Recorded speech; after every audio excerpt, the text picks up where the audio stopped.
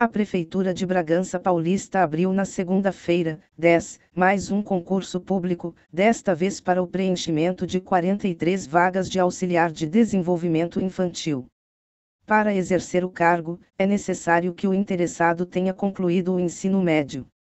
O salário é de R$ 1.314,96 conforme o edital publicado no Imprensa Oficial número 762-A, edição extra de segunda-feira, 10, as inscrições terão início na próxima segunda-feira, 17 e vão até o dia 17 de março.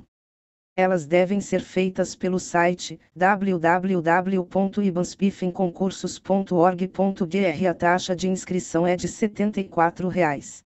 A prova será objetiva deve acontecer no dia 5 de abril e terá duração de 3 horas. Haverá 12 perguntas de língua portuguesa, 8 de matemática, além de 20 de conhecimentos específicos.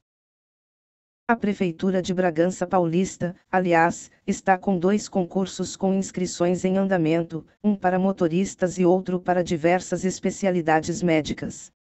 Com os três concursos, a Prefeitura pretende contratar no total 135 novos funcionários.